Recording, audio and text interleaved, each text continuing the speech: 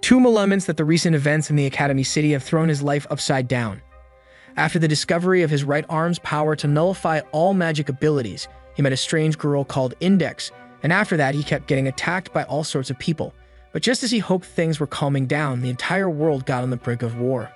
With foreign groups like the Roman Catholic Church and the God's right seat, he found himself in the middle of all that chaos, confused with everything that was going on. In school, he gets in trouble with his friends Motoharu, Pierce, and Siri, so the teachers make them stay after the classes are over, but Motoharu and Pierce bail, leaving Touma and Siri on their own to do the chores. Since Touma is late in coming home, Index gets hungry, and while answering the door to Mika, ends up letting the cat escape. An old woman manages to calm the cat down and return it to Index. Upon hearing that Index and the kitty are hungry, the woman treats them to lunch. On the way home, Touma runs into Mikoto, who confronts him for never answering her message. She stoops on his phone and finds her own mom in his pictures and contacts.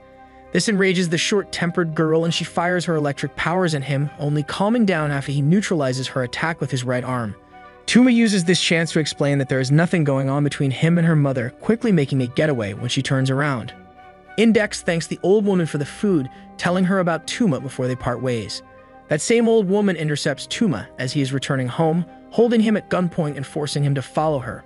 After they reach a secluded place, she introduces herself as Monaka, revealing that she is a member of the Academy City's board of directors. She tells him that the recent events in the world are caused by a supernatural ability and his own ability. The Imagine Breaker located in his right hand can be used to de-escalate the situation. Before she can tell him more, Motoharu shows up and shoots her on the spot. Touma quickly reacts and attacks him, but Monaka stops him, explaining that the board wishes for the situation to escalate so they would have an excuse to wipe out the Roman Catholic Church.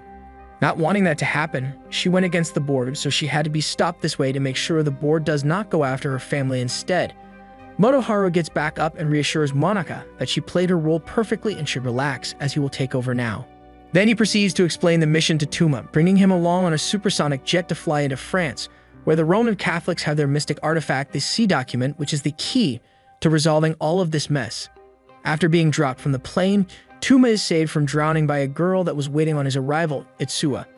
Thanks to Motoharu's briefing during the flight, Touma is able to explain to Itsuwa how the C document is capable of making all of the believers in the Roman Catholic Church think whenever the Pope declares to be the truth, hence why the locals started thinking that the Academy City are the bad guys. But it can be used only in specific locations, so they are sure it is currently in the city. Unfortunately, the protests against the Academy City are in full swing, and they get spotted by some of the protesters. Identifying Touma to be from Academy City, they start chasing after him.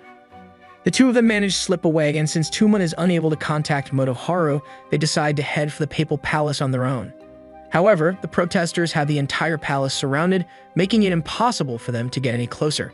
Finally making contact with Motoharu, Touma learns that he is having trouble getting in as well, so in order to prevent the Roman Catholics from using the C document, Motoharu suggests Touma disables the magical pipeline connecting this place to Vatican, he will continue trying to make progress on his end.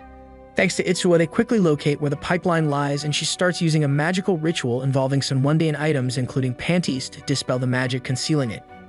But before she can finish her magic ritual, they get attacked by a member of the right seat of God, Terra of the left.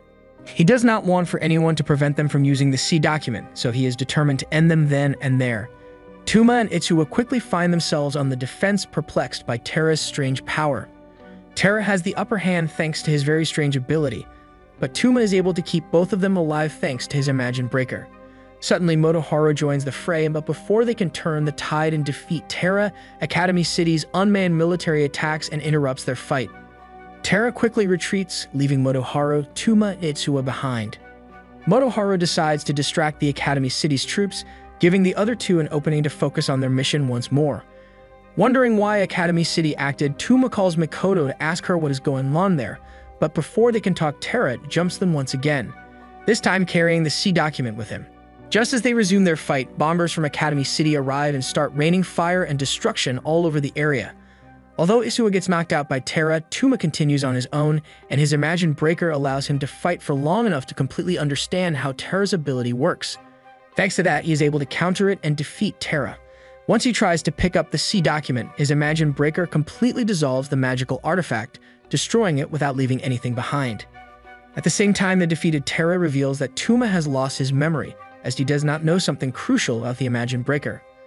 Unfortunately, just as he is about to reveal what Touma has forgotten, Terra gets obliterated by the bombers. As it happens, this has not killed him as he managed to escape back to his headquarters. There he gets confronted by another member of the Right Seat of God, Acqua of the Back. Acqua is unhappy that Terra not only lost the C document, but has also used innocents to polish his ability. Deciding to punish him for it on the spot, he puts Terra into the ground with his overwhelming power. Afterwards, he decides to take matters into his own hands and set out for Academy City. In Academy City, things are heating up as the organization called Group, whose leader happens to be Motoharu, violently captures an important person. Meanwhile, their newest member, Accelerator, pressures a scientist to give him what he needs to adjust his choker. The retrieval of the captured person goes south when another party gets in the way, destroying the transport vehicle and taking him out. While Group is trying to find information in the captured person's apartment, their operative, Unabara, gets attacked by special forces. But once other members arrive at the apartment, they find out that he managed to use magic to blend in with the attackers, while leaving behind the information they were looking to find for them. Thanks to that, they find out their professional sniper has been hired to take out Monaka while she is holding a speech. Realizing that this is happening right now, they think it is too late to act, but Accelerator comes up with a genius idea and blows up a car near the venue, causing a commotion and forcing the speech to be cancelled. This successfully thwarts the assassination attempt. After doing more research, they learn that the organization behind this is called School. In addition to them, three other organization names popped up, specifically Member, Block, and Item. It is then that Item is also getting ready to act. They decide to go after school and take them out before they can accomplish whatever their goal is. After tracking them down and confronting them, things take a turn for the worse as school proves to be too much for them to handle, and they are forced to change their plans. It turns out that the second strongest Esper, a guy named Teitoku, is a part of school. They get intercepted by school along the way and have to split up once more.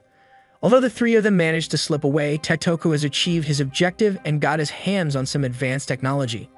Reasoning what he could use it for, Group, who's keeping an eye on the situation, starts shutting down important terminals to prevent them from getting hacked, but one is not responding. At that moment, Unabara, who is still blending in with the enemy, contacts them, stating that the organization called Block is scheming to hack into the Auxiliary Satellite Control Center. This causes Accelerator to immediately head out to that destination, leaving the non-responsive terminal to others, at the control center, both Teitoku and Accelerator get ambushed by the organization Member, but Member is not up to the challenge, and they get beaten easily. As Block moves to act with a force of 5,000 mercenaries, Unabara blows his cover to raise the alarm at their point of attack. Heavy fighting breaks out, and most of Block's forces get completely devastated while Unabara manages to regroup with Group. They capture and question a member of Block, and upon learning their next move, they rush to intercept the rest of their forces. A girl who used to be in the same organization as Unabara stands before them, determined to kill Unabara for leaving. He decides to handle her on his own, sending others ahead. Inside of the building Block was trying to break into, Motoharu and Awaki confront the ones leading Block's mission. But they have already primed explosives in the area where children are kept and are using them as hostages to get access to a world into which Aleister could not reach. But the Block's leader gets interrupted by his own ally as she brutally knocks him out declaring that she has her own reason for going after Aleister, but does not want to take children as hostages to get there. Instead, she engages the two members of group in hand-to-hand combat, quickly knocking out Motoharu. Awaki is also getting knocked around by her, but she manages to overcome her trauma and activate her teleportation ability mid-fight, turning the tide and knocking out the last block operative. Unabara is shocked to learn that his former friend merged her body with a grimoire to get stronger and is disturbed by how low that organization had sunk after he left, since anyone who uses the grimoire's power like that will die in no time. Even though she is determined to kill him, his feelings for her are unwavering, and he decides to draw out the grimoire from her and take it into himself to save her life. After regrouping, it turns out that all of them were successful in stopping Block.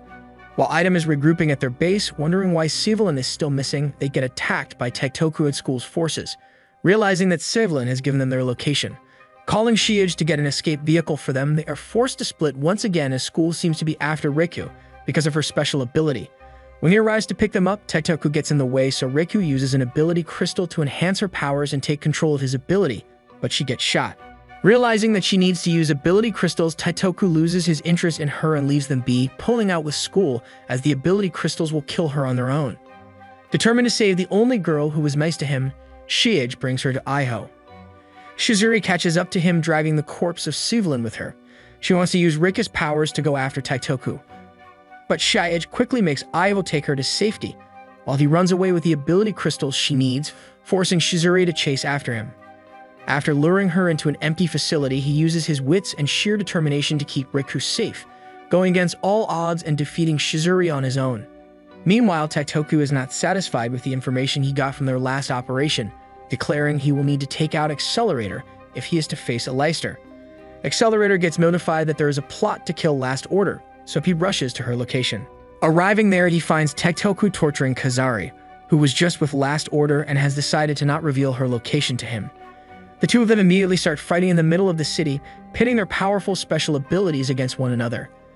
At first, it seems that Teitoku's ability to control dark matter is stronger than Accelerator's ability to control vectors, but it turns out that Accelerator was making an effort to protect any innocent bystanders from their abilities while exchanging blows.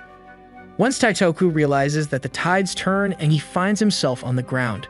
Before Accelerator can finish him off, Io arrives at the scene and stops Accelerator from killing, declaring that she will bring him out of the darkness he is in. Using this chance, Teitoku sneakily attacks Iho, which pushes Accelerator into a frenzy and he loses control of his power. Before he ends up killing anyone, Last Order makes her appearance and confronts him. Accelerator is unable to bring himself to harm her, and her soothing words manage to calm him down. Hey, thank you for staying all the way till the end. If you enjoyed the video, give it a like. It takes only a second, but it means everything to us. Have a great day and see you in the next video.